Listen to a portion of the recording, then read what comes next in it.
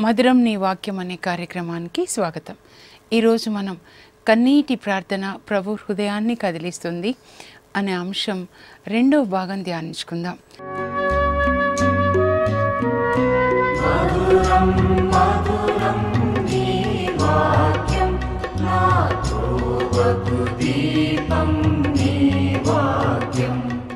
నిన్నటి దినాన మనం సూజన్న గురించి మోనిక పునీత మోనిక తల్లి గురించి తెలుసుకున్నాం కదా.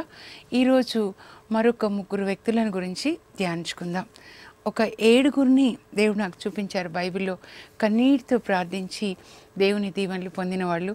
ఆ ఏడుగురిలో ఆరుగురు స్త్రీలే ఒక్కరే పురుషులు. అందులో కూడా ఆయన హిజ్కియా రాజు అనమాట ఇప్పుడు మనం ఆది గ్రంథంలో చూద్దాం. ఇరవై ఒకటో అధ్యాయంలో పదిహేడు వచనం నుండి. ఇక్కడ హగార్ అన్నమాట. హగార్కి దేవుడు ఎలా దర్శనమిచ్చి సహాయం చేస్తారో చూద్దాము. ఇక్కడ హగార్ కూడా ఏడుస్తూ ఉంటుంది. అయితే పరలోకం నుంచి దేవదూత వచ్చి ఏం చెప్తారంటే బాబు ఏడుపు దేవుని చెవికి చేరింది అని చెప్తాడు. చూద్దాం. అసలు ఏ అసలు సంఘటన ఏంటి? ఎందుకు హగారు తన కుమారుడు ఇష్మాయిల్తో కలిసి బేర్షబా అడవిలో దిక్కు తోచక ఉందన్నమాట. అడవిలో ఒకే ఒక ఆమె ఉంది. చిన్న బాబుని పట్టుకొని. ఇంకా బాబుకి త్రాగడానికి నీళ్ళు లేవు తినడానికి తిండి లేదు. అలాంటి పరిస్థితిలో ఆమె ఏడుస్తుందనమాట చూద్దాం. అబ్రహాము కథని మీరు చూసినట్లయితే దేవుడు ఆయనకి పిల్లల్ని ఇస్తానని చెప్తాడు డెబ్బై ఐదు సంవత్సరాలప్పుడు. ఎనభై ఐదు సంవత్సరాలు వచ్చేస్తాయి అబ్రహాంకి. పది సంవత్సరాలు వేచి ఉంటుంది సారా కానీ పిల్లలు పుట్టరనమాట అప్పుడు ఆమె అనుకుంటుంది నేను వృద్ధురాలిని కదా అందుకే పిల్లలు కనే వయసు నేను దాటిపోయింది నాకు. కనుక నాకు పిల్లలు పుట్టట్లేదు. అయితే మా దాసి హగారు మంచి వయసులో ఉంది పిల్లలు కనే వయసు అని తన భర్తకి అబ్రహాంకి ఇచ్చి పెళ్ళి చేస్తుంది. ఆమె చేసిన పొరపాటు అనమాట అది. గ్రేవ్ మిస్టేక్ అంటారు. ఇప్పటికీ కూడా ఆమె పిల్లలు ఇజ్రాయేల్ ప్రజలు ఆ దాసి హగారు పిల్లలు అరబ్బులు పోట్లాడుకుంటూనే ఉన్నారు. పోట్లాడుకుంటూ అరబ్బులు బెత్లహేమ్ అంతా వాళ్ళ చేతిలోనే ఉంది. ఎరుషలేంలో దేవాలయం వాళ్ళ చేతిలోకి తీసుకొని వాళ్ళు మాస్క్ ఎప్పుడో కట్టేశారనుకోండి ఇంకా ఇప్పుడు వాళ్ళకి ఎప్పుడు యుద్ధమా అన్న యుద్ధ వాతావరణం ఉంటుందన్నమాట. ఈ సారా చేసిన ఈ యొక్క పొరపాటు వల్ల కొన్నిసార్లు మనం దేవుణ్ణి అడగకుండా మన సొంత నిర్ణయం తీసుకొని ఆ నిర్ణయం ప్రకారం జీవిస్తే మన చిత్తం చేసినప్పుడు దాని పరి పరిణామం ఎలా ఉంటుంది? అంటే ద ఇఫెక్ట్ ఎట్లా ఉంటుందంటే ఈ సారా జీవితం చూసి మనం నేర్చుకోవచ్చు.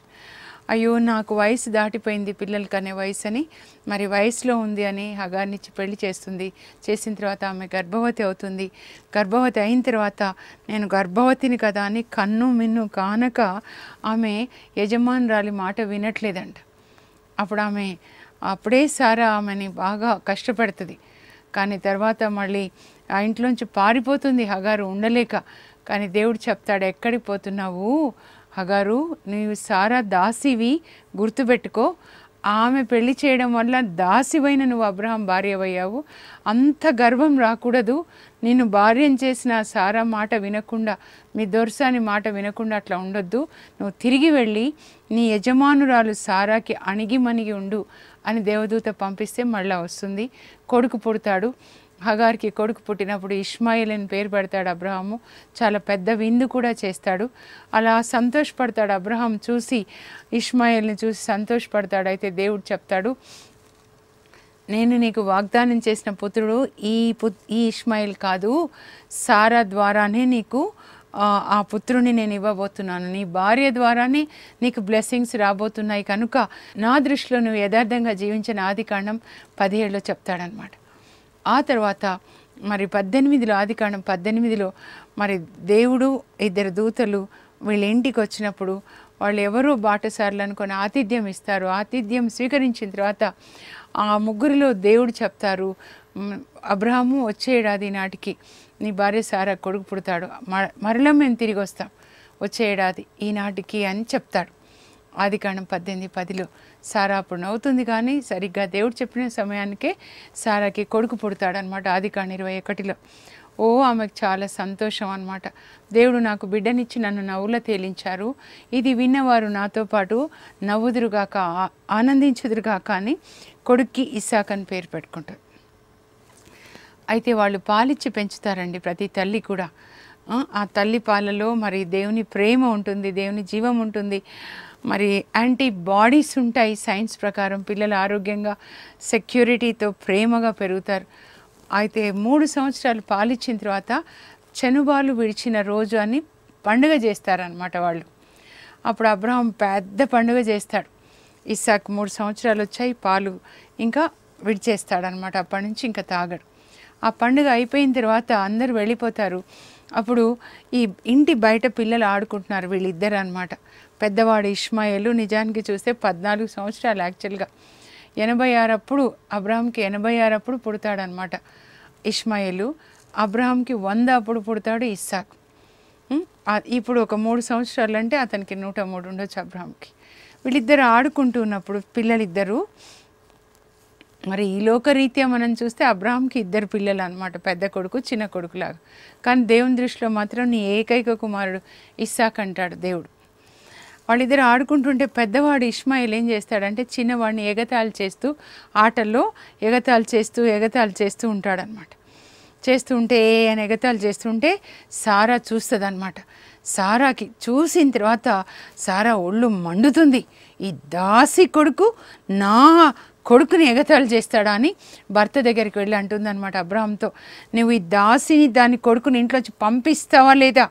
వాడు ఆ దాసి కొడుకు నా కొడుకుతో సమానంగా ఇంట్లో పెరగడం నేను ఒప్పుకోను అంతే అని చెప్తుందన్నమాట. అప్పుడు అబ్రహం చాలా బాధపడ్డాడంట మీరు చదవండి. ఎందుకంటే ఆయన పెద్ద కొడుకు కదా ఎంతైనా చాలా బాధపడతాడంట. అప్పుడు దేవుణ్ణి అడుగుతాడు ఏం చేయాలి ప్రభా? సారా ఒప్పుకోవట్లేదు ఇంట్లో ఉండడానికి. దేవుడు చెప్తారు సారా చెప్పినట్లే చెయ్యి. అది నా చిత్తం. నా చిత్తం అది ఇస్సాకుతో కలిసి ఈ దాసి కుమారుడు పెరగడానికి నీ కొడుగ్గా పెరగడానికి నేను కూడా ఒప్పుకోను. ఆ దాసిని దాసి కొడుకుని ఇంట్లోంచి పంపించేసాయి. ఆయన నేను అతన్ని కూడా ఆశీర్వదిస్తానులే. కానీ నేను చెప్పిన వాగ్దాన పుత్రుడు మాత్రం ఇస్సాకే. అని చెప్పినప్పుడు ఇంకా అబ్రహాం దేవుడు మాట్లాడిన తర్వాత మరి వేకోజాముననే లేస్తాడు. మూడు గంటలకి లేచి ప్యాకింగ్ అనమాట హగార్ ప్యాకింగ్ ఇస్మాయిల్ ప్యాకింగ్ కొంచెం అన్నం ఇచ్చేసి నీళ్ళ తిత్తి అన్నం మూట నీళ్ళ తిత్తి రెండు కూడా ఆమెకి ఇస్తాడు. కొడుకుని ఇక్కడ భుజాల మీద కూర్చోబెట్టేసి అవి ఇచ్చేసి ఆమెని ఇంట్లోంచి పంపించేస్తాడనమాట అమ్మయ్య అనుకుంటుంది అనమాట సారా. ఎన్ని రోజులు ఒక చిన్న పొరపాటు చేసింది ఎనభై ఐదులో. ఇప్పుడు చూడండి నూట మూడు అనమాట అబ్రహాంకి. అంటే దాదాపు ఎన్ని సంవత్సరాలు? పద్దెనిమిది సంవత్సరాలు ఆమె చేసిన పొరపాటుకి ఇంట్లో సవతిలాగా ముళ్ళులాగా అట్లా ఉండిపోయింది. కానీ ఇప్పటికి కూడా ఆ సమస్య సమస్యగానే ఉండిపోయింది వాళ్ళకి. అలా అబ్రహాం అగార్ని పంపించిన తర్వాత ఆమె వెళ్తుంది వెళ్తుంది ఎక్కడికి వెళ్తుంది అంటే బేర్షబా అడవుల్లోకి వెళ్తుంది. బేర్షబా అరణ్యంలో దిక్కు తోచక ఉంటుంది. ఒక చెట్టు కింద కూర్చుంటారు. ఆ బాబుని పట్టుకొని చెట్టు కింద కూర్చుంటుంది. ఆయన ఇచ్చిన అన్నం అయిపోతుంది. ఆయన ఇచ్చిన నీళ్ళు కూడా అయిపోతాయి. అప్పుడు ఆ బాబును ఒక పొద కింద పడవేసి ఆమె ఇంకో కొంచెం దూరం వెళ్ళి గొంతెత్తి ఏడుస్తూ ఉందంట. ఇరవై ఒకటి పదిహేళ్ళు ఉంటుంది ఆది కాండంలో. అప్పుడు దేవుడు ఆమె కన్నీళ్ళు చూశాడు. గొంతెత్తి ఏడుస్తూ ఉంది. ఈ అరణ్యంలో ఈ పిల్లవాడితో నేను ఎట్లా బ్రతకాలి? భర్త పంపించేశాడు. ఎట్లా బ్రతకాలి? అప్పుడు దేవుడు పరలోకం నుంచి దూతని పంపిస్తారు. హగారు అని పిలుస్తాడు ఆ దూత. నీకేం ఆపద కలిగింది? భయపడకు. దేవుడు పిల్లవాని ఏడ్పుని విన్నాడు.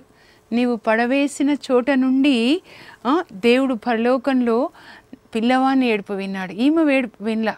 నీవు పడవేసిన చోట ఎక్కడ పడేసావు అక్కడ ఏడుస్తున్నాడు వాడు. ఒక్కడే ఏడుస్తున్నాడు. పిల్లవాని ఏడుపు విన్నాడు. నువ్వు బాధపడకు. ఇతడు ఒక మహాజాతికి మూల పురుషుడు అవుతాడు. దేవుడి బిడ్డని బాగా ఆశీర్వదిస్తారు. అని చెప్పి ఆమె ఏడుస్తూ కళ్ళు మూసుకొని ఉంటే ఆమె కళ్ళు తెరుస్తారనమాట దేవుడు. అంటే మనోనేత్రాలు తెరుస్తారు. ఆమె కళ్ళు తెరిచేసరికి ఆమె ఎక్కడైతే ఉందో అడవిలో అక్కడ ఆమె ముందు ఒక నూతి ఉంటుంది బావి. బావి నిండా నీళ్ళు ఉంటాయన్నమాట. దూత చెప్తారు దాహం వేస్తుంది కదా. ఆ నీళ్ళు తీసుకో. నిండా నీళ్ళు అంటే ఇట్లా తీసుకోవచ్చు అనమాట అప్పుడు ఆమె అబ్రహాం ఇచ్చిన తిత్తిలో నీళ్ళు నింపి బాబుని తీసుకో అంటారు దేవుడు. ఆ దూత అనమాట అప్పుడు బాబుని తీసుకొని బాబుకి నీళ్ళు పడుతుంది అనమాట నువ్వు ఎక్కడ పడేసావు నీ బిడ్డని? అక్కడి నుంచి నువ్వు తీసుకో. మీరు కూడా మీ పిల్లల్ని ఎక్కడ పడేశారు? దేవుడు చెప్తున్నారు అనమాట ఎక్కడ పడేశారు మీరు? ఈ లోకంలో సైతాన్ శక్తుల కోసం పడేశారా? అక్కడి నుంచి మీ బిడ్డల్ని తీసుకోండి. గొంతెత్తి మీరు ఏడవండి. ఆమె ప్రార్థన కూడా చేయట్లేదు. ఎందుకంటే ఆమెకు తెలీదు. ఆమె అబ్రాహం భార్య కాదు. ఐగుప్తు నుంచి పన్నెండో అధ్యాయంలో వాళ్ళు ఐగుప్తు వెళ్ళినప్పుడు తెచ్చుకున్న ఒక చిన్న బానిస పిల్ల ఐగుప్తు బా అక్కడి నుంచి తెచ్చుకున్నారనమాట ఇప్పుడు అబ్రాహం భార్య అయిపోయింది కానీ ఆమెకు తెలియదు ప్రార్థన. కనుక ఏడుస్తూ ఉందన్నమాట. కానీ ఆ ఏడుపుని దేవుడు చూశారు. ఏ మాటలు అవసరం లేదండి దేవునికి. మనం కన్నీళ్ళు కారిస్తే దేవుని హృదయం కదిలించబడి వెంటనే ఆమె దగ్గరికి దూతను పంపించారు. బావిలో అడుగున ఉండొచ్చు కదా నీళ్ళు పై వరకు ఉన్నాయి. ఎన్ని తాగుతావో తాగమని. తినడానికి అన్నీ ఇచ్చేస్తారు. ఆ బాబుని జాగ్రత్తగా దేవుడు పెంచుతారు. అప్పుడు ఆమె ఐగుప్తీయురాలు కాబట్టి ఐగుప్తు నుంచి ఒక పిల్లని తీసుకొని వచ్చి ఇష్మాయిల్కి పెళ్ళి చేస్తుంది. తర్వాత ఇష్మాయిల్ పన్నెండు మంది రాజులకి తండ్రి అవుతాడు. అబ్రహాంతో దేవుడు చెప్తారు. ఎందుకంటే అబ్రహాము ప్రార్థన చేస్తాడు ఇష్మాయిల్ని చల్లని చూపున చూడయ్యా నాకు అదే చాలు. కాదు కాదు ఇష్మాయిల్ని చల్లగా చూస్తాను అతన్ని పన్నెండుగురు రాజులకి తండ్రిని చేస్తాను కానీ నేను దీవించబోయేది ఈ వాగ్దాన పుత్రుడు ఇస్సాకే. సారా ద్వారా పుట్టినవాడే నీ భార్య ద్వారా పుట్టినవాడే అని దేవుడు చెప్తారనమాట మనం కూడా కన్నీరు కార్చినప్పుడు ఆ కన్నీరు పరలోకానికి వెళ్ళి కన్నీరు మాట్లాడుతుంది దేవుని దగ్గర. అప్పుడు అక్కడి నుంచి జవాబు వస్తుంది. ఒక అడవిలో ఆ, బావి నిండా నీళ్ళు ఇచ్చారంటే అర్థం ఏంటంటే ఆశీర్వాదాలు నీరు ఎప్పుడు ఆశీర్వాదాలకి గుర్తుగా ఉంటుందన్నమాట. ఇప్పుడు మధురం నీ వాక్యంలో చిన్న విరామం తీసుకుందాం. మధురం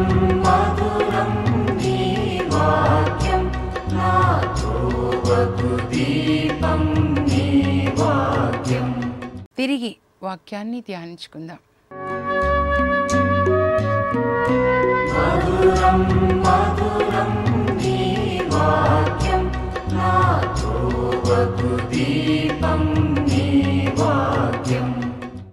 అలాగే మీరు ఇంకా ఒకటో సమూవేలు గ్రంథానికి వచ్చినట్లయితే అక్కడ ఒక తల్లి అన్న సమూవేలు వాళ్ళ తల్లి కన్నీటితో ప్రార్థిస్తుంది. మనకి కన్నీరు వచ్చే పరిస్థితిని దేవుడు కొన్నిసార్లు ఇస్తారు. కన్నీరు వచ్చినప్పుడు ఆ ప్రార్థన వెంటనే దేవుడి దగ్గరికి వెళ్తుందనమాట నేను కూడా కొన్నిసార్లు అనుకుంటాను ప్రభు అంత వేదన నాకు ఇవ్వండి కన్నీళ్ళు రావాలి. ఎల్కానా అనే వ్యక్తి ఇషిలో దేవాలయానికి వస్తాడనమాట తన ఇద్దరు భార్యలను తీసుకొని హన్నాని పెనినా నేను చాలాసార్లు చెప్పాను.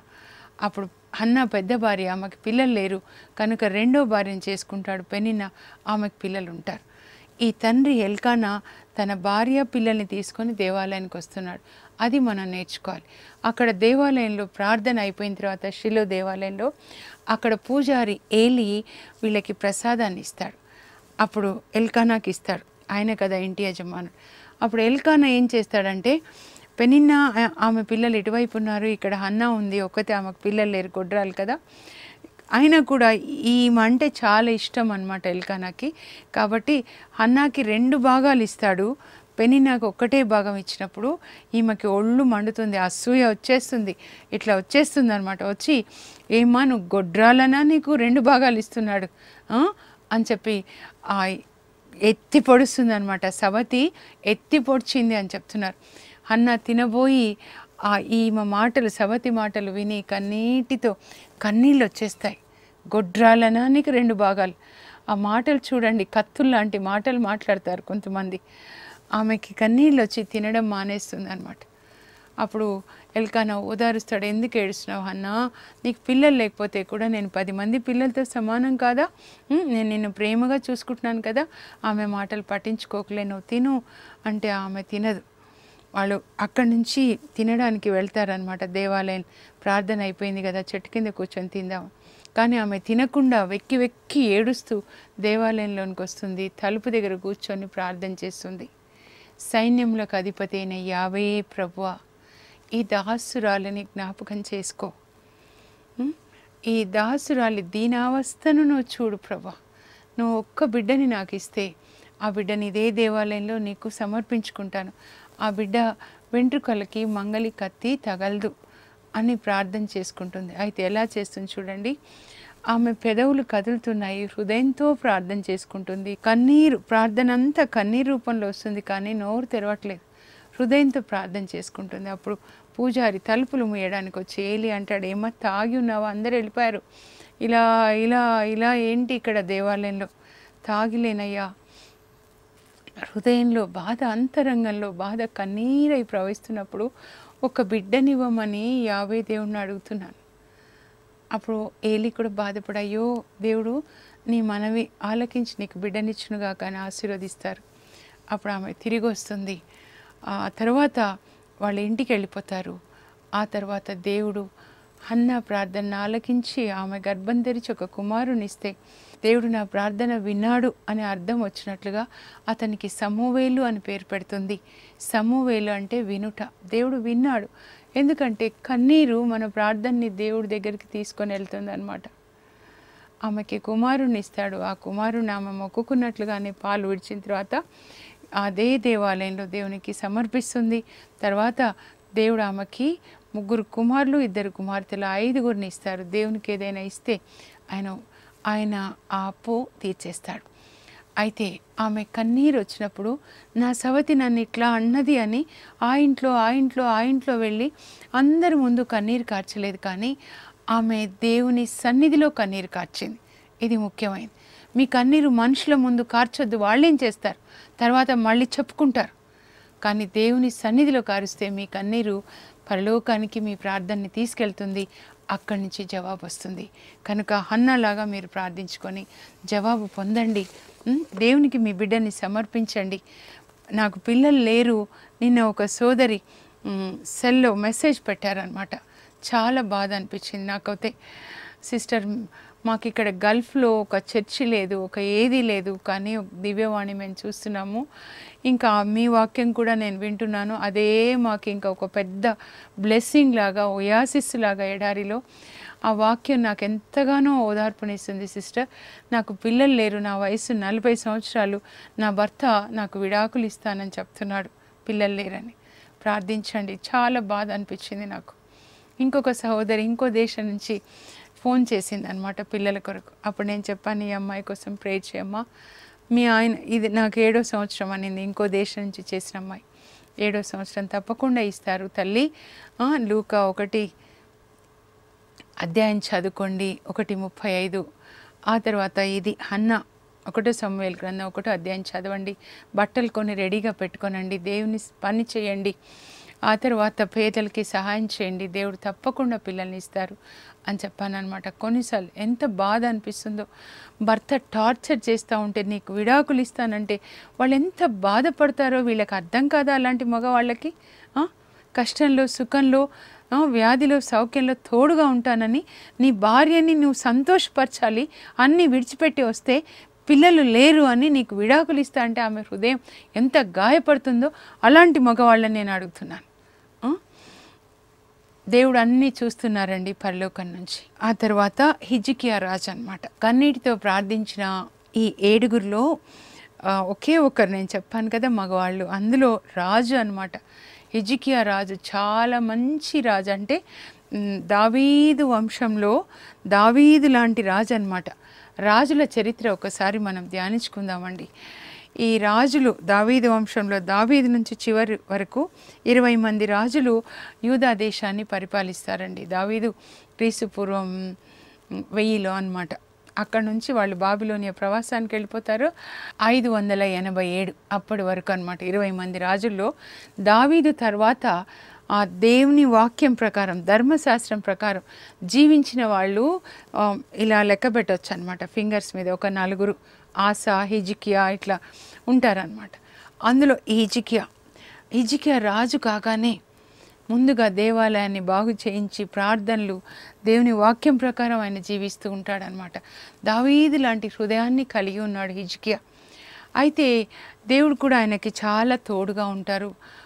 మరి ఇలా ఉండగా ఏం జరుగుతుందంటే హిజ్కియా రాజుకి జబ్బు చేస్తుంది. అప్పుడు దేవుడు యషయా ప్రవక్త ద్వారా హిజికియా రాజుకి సందేశాన్ని పంపిస్తారు. యషయా ప్రవక్త వచ్చి ఏం చెప్తాడంటే యషయా గ్రంథంలో ముప్పై ఎనిమిదో అధ్యాయం ఒకటి నుంచి మీరు అధ్యాయం చదువుకోండి. యషయా ప్రవక్త చెప్తాడు హిజికియా రాజుతో నువ్వు ఇంకా బ్రతకవు కనుక నీ ఇంటిని చక్కబెట్టుకో. నువ్వు చనిపోతావని ప్రభు చెప్పారు నీ ఇంటిని బాగు చేసుకో.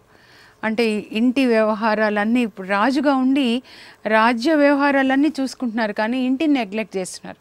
ఈ రాజులందరూ పడిపోవడానికి పడిపోయిన రాజులు దావీది కూడా ఇంత మంచిగా ఉన్నాడు రాజుగా దేవునికి మంచిగా ఉన్నాడు కానీ తన ఫ్యామిలీ బాగాలేదు ఎందుకు తెలుసా? ఒక్క భార్య కాదనమాట. ఈ ఒక్క భార్య కాదు కాబట్టి ఆయన ఇల్లు అంటే ఏ భార్య ఇల్లు? అసలు అలా చాలామంది భార్యలు చాలామంది పిల్లలు వాళ్ళు పోట్లాటలు అలా వాళ్ళ ఫ్యామిలీ లైఫ్ సరిగ్గా ఉండదు. అందువల్ల వాళ్ళ అది ఒక మెయిన్ వీక్ పాయింట్ అనమాట సో నీ ఇంటిని బాగు చేసుకో అంటే నీ తర్వాత అన్నీ అప్పగి అప్పగించాలి కదా మరి నీ కొడుక్కి అట్లా అన్నీ బాగు చేసుకో. నీ ఇంటిని చక్కబెట్టుకో. Put your house in order because you're going to die అని చెప్పినప్పుడు ఆయన ఆ ఇంటిని బాగు చేయాలి. ఎవరిచే నా కొడుకు అప్పచెప్పాలి దేశాన్ని ఆలోచన ఏం రాదు. ఆయన ఇంకేం చేస్తాడంటే మంచం దిగుతాడు. మంచం దిగి నేల మీద కూర్చొని గోడ వైపు ముఖం పెట్టుకొని కన్నీరు కారుస్తూ ఆయన ప్రార్థన చేస్తాడనమాట ప్రభువా నేను చనిపోవాల్సిందేనా ప్రభా నేను ఎప్పుడు కూడా నీ చిత్తాన్నే చేశాను. నీ దృష్టికి మేలైనదే చేశాను ప్రభా నేను యథార్థ హృదయుడనై జీవించాను కదా. నీ చిత్తం చేశాను. ధర్మశాస్త్రం చొప్పున నేను జీవించాను. నేను చనిపోవాలా అని ఆ మొక్కం గోడ వైపు పెట్టుకొని కన్నీరు కారుస్తూ ప్రార్థన చేస్తుంటే దేవుడు చూస్తారు. ఆయన హృదయం కదిలించబడుతుంది. ఒక రాజు చిన్న పిల్లవాడిలాగా గోడ వైపు ముఖం పెట్టుకొని కన్నీటితో ప్రార్థిస్తున్నాడు. ఆయనకి జ్ఞాపకం చేస్తాడు. ఈ ఇజికియా దేవుని చిత్త ప్రకారం జీవిస్తాడు. మిగతా రాజులు మీరు చూసినట్లయితే విగ్రహారాధన దావీది కొడుకే మొదలు పెడతాడు సులోమోన్. ఇంకా సులోమోన్ కొడుకు రెహబాము ఇంకా మందబుద్ధి. కానీ ఈయన దేవుని చిత్తం చేస్తాడు.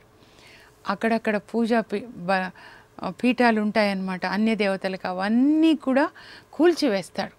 మన దేవుణ్ణి ఆరాధించాలి అని చెప్పనమాట నేను ఎప్పుడు నీ చిత్తమే చేశాను. నీ దృష్టికి మేలైందే చేశాను.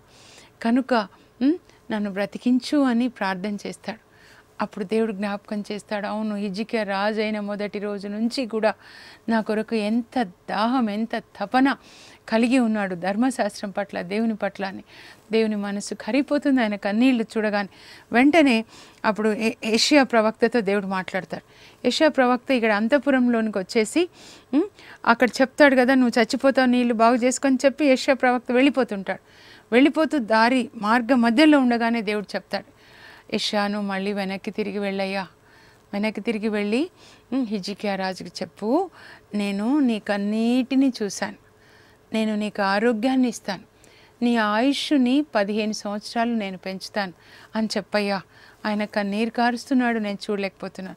అప్పుడు ఏషా ప్రవక్త మరలా తిరిగి వస్తాడు వచ్చి చెప్తాడు దేవుడు నీకు ఆరోగ్యాన్ని ఇస్తున్నారు నువ్వు చనిపోవు ఆరోగ్యం ఇవ్వడమే కాదు నీ ఆయుష్ని ఆయన పదిహేను సంవత్సరాలు పెంచుతున్నాడు అని చెప్పారు. చెప్పమన్నారు నన్ను అంటే నిజంగానా? అంటే నిజంగా. నేను నిజంగా దేవాలయానికి వెళ్ళి మల్- మరలా దేవుని ఆరాధిస్తానా? ఆయన చూడండి ఇజుకా రాజు. నేను బ్రతుకుతాను. నువ్వు బ్రతుకుతావు అంటే సంతోషపడవచ్చు కదా. నేను దేవాలయంకు వెళ్ళి మరలా దేవుణ్ణి ఆరాధిస్తాను. ఆయన హృదయం ఏంటో తెలుస్తుంది. అవును నువ్వు వెళ్తావు. మరి నాకు గుర్తేంటి చెప్పమంటాడు? ఏం గుర్తు కావాలి? కోరుకో అంటాడు యష్యా. అప్పుడు సాయంకాలం ఇలా ఇలా సూర్యుని నీడ వాళ్ళ అంతఃపురం మీద పడుతుంది. అంతఃపురానికి ఆశా ప్యాలెస్ అని పేరు పెడతారు వాళ్ళ నాయన అనమాట యశా ప్రవక్త అడుగుతారనమాట సూర్యుని నీడ పది అడుగులు ముందుకు జరపమంటారా మహారాజా? లేదా పది అడుగులు వెనక్కి జరపమంటారా అంటే ఆ ముందుకైతే మామూలుగానే జరుగుతుంది కదా. వెనక్కి పోదు కదా నీడ. కనుక సూర్యుని నీడ పది అడుగులు వెనక్కి జరుపు. అప్పుడు ఆహాజు మెట్ల మీద సూర్యుని నీడ పడుతుందన్నమాట. అప్పుడు ఏషియా ప్రవక్త ఆ మెట్ల మీద నీడ పది అడుగులు వెనక్కి నడిపిస్తాడనమాట తీసుకొని వెళ్తాడు. అంతేకాకుండా దేవుడు చెప్తారు పెద్ద పుండు అనమాట రాచ పుండు అంటారు చూడండి అదనమాట ఆయనకు వస్తుంది అప్పుడు దేవుడు దానికి కూడా సొల్యూషన్ చెప్తాడనమాట అత్తి పండ్ల గుజ్జును తీసుకొని రాజు పుండు మీద రాస్తే ఆయనకి స్వస్థత కలుగుతుంది. అంటే దేవుడు ఈ సృష్టిలో మరి వృక్షముల ద్వారా పండ్ల ద్వారా మనకి స్వస్థతనిస్తాడనమాట అలాగే ఆయనకి స్వస్థత కలుగుతుంది ఆ అత్తి పండ్ల గుజ్జుని రాసిన తర్వాత. ఆయన ఆయుష్ పదిహేను సంవత్సరాలు దేవుడు పెంచుతారు. అప్పుడు ఆయన దేవాలయానికి వెళ్తాడు దేవునికి వందనాలు చెప్తాడు. ప్రభా నేను పాతాళ లోకంలోనికి వెళ్ళిపోతాను నా దినాలు అయిపోయినాయి అనుకున్నాను కానీ నీవు నా దుఃఖాన్ని నా కన్నీటిని సంతోషంగా మార్చావు నాకు స్వస్థతనిచ్చావు ప్రభా. కనుక నేను జీవితకాలం అంతా నేను స్థుతిస్తానని హిజ్కియా రాజు దేవుణ్ణి స్తుతిస్తాడనమాట. ఒక రాజు కన్నీటితో ప్రార్థిస్తే మనం ఎంతగా ప్రార్థించాలి కదా? కన్నీటితో మనం ప్రార్థించాలి. ప్రొద్దున పరిశుద్ధాత్మ దేవుడు నాకు ఇంకా ఏమేం జ్ఞాపకం చేస్తున్నారంటే స్త్రీలు ప్రార్థించాలి స్త్రీలు కన్నీటితో యేసు ప్రభు సిలువని మోస్తూ ఉన్నప్పుడు కొంతమంది పుణ్య స్త్రీలు ఆయనను చూసి ఆ గుండెలు బాదుకుంటూ కన్నీటితో ఏడుస్తుంటే అప్పుడు యేసు ప్రభు అంటారు అమ్మలారా నా కొరకు ఏడవకండి మీకోసం మీ బిడ్డల కొరకు ఏడవండి. మీ బిడ్డలు ఎలా ఉన్నారు? మీ కుటుంబం ఎలా ఉంది? దేవుని యొక్క వాక్యం మీరు చెప్తున్నారా? దేవుని వాక్యం ప్రకారం పెంచుతున్నారా? మీ పిల్లల కొరకు మీరు ఏడవండి. కన్నీటితో విలాప గ్రంథాలు రెండు పద్దెనిమిదిలో రాయబడి ఎరుషలేము కుమారి రేయి ప్రతి జామున లేచి నశించిపోతున్న నీ బిడ్డల కొరకు ప్రార్థించు. నీ కన్నీరు ఏరులై ప్రవహించునుగాక అని చెప్పి రాయబడింది. కనుక వేకోజామునే లేచి ఉపవాస ప్రార్థన చేద్దాం కన్నీటితో ప్రార్థిద్దాం. దేవుడి నుంచి దీవెనలు పొంది మన పిల్లల్ని దైవ భీతిలో పెంచుతూ వాక్యం ప్రకారం వాళ్ళు జీవించేటట్లు దేవుని హస్తం వాళ్ళ మీద ఉండేటట్లు వాళ్ళు దేవుని కొరకు గొప్ప కార్యాలు చేసేటట్లుగా ప్రార్థన చేద్దాం. పరలోకపు మా తండ్రి మీ పరిశుద్ధ నామంనకు స్తోత్రం కలుగునుగాక. ప్రభా హగారు ఒంటరిగా తన పసిబిడ్డతో బేర్షబా అడవుల్లో ఉన్నప్పుడు నువ్వు చూసావు ఆమె కన్నీటిని చూసావు ఆమె బిడ్డ యొక్క కన్నీరు చూసి దేవదూతని పంపించి వాళ్ళకి నీటినిచ్చి అన్నీ ఇచ్చి నాయన కాపాడి ఇష్మాయిల్ని పన్నెండుగురు రాజులకు తండ్రిని చేశావు ప్రభా. అలాగే మరి హన్నా కూడా కన్నీటితో ప్రార్థించినప్పుడు ఆమె గర్భాన్ని తెరిచి సమూవేలు ప్రవక్తని బిడ్డగా ఇచ్చావు తండ్రి. అయా వాళ్ళందరి కన్నీళ్ళు నీ సన్నిధికి చేరుతూ ఉన్నాయి. మరి హిజికియా రాజుతో నువ్వు సందేశాన్ని ఇచ్చినప్పుడు నువ్వు ఇంకా బ్రతకవు నీ ఇంటిని సరి చేసుకో చక్కబెట్టుకో అని చెప్పినప్పుడు ఆయన కన్నీరు విడిచుచూ ప్రార్థించినప్పుడు ఆయన కన్నీటిని చూసి ప్రభా నువ్వు కదిలించబడి హిజికియా రాజుకి స్వస్థతనిచ్చావు ఆయుష్ని పెంచావు ప్రభా. అలా మేము కూడా కన్నీటితో ప్రార్థించి మీ దగ్గర నుంచి జవాబు పొందేటట్లు నశించిపోతున్న మా బిడ్డల కొరకు ప్రార్థించడానికి నైనా మమ్మల్ని పరిశుద్ధ ఆత్మతో అభిషేకించండి ప్రభా. తల్లులు వాళ్ళ బిడ్డల కొరకు మోనిక తల్లిలాగా కన్నీరు కారుస్తూ ప్రార్థించుదురుగాక. ఉపవాసంతో ప్రార్థించుదురుగాక. అలాంటి ఆత్మని దయచేయండి. ఏసునామంలో అడుగుచున్నాం తండ్రి. ఆమె కన్నీటితో ప్రార్థించే వరాన్ని దేవుడు మీకు ఇచ్చుదురుగాక గాడ్ బ్లెస్ యూ.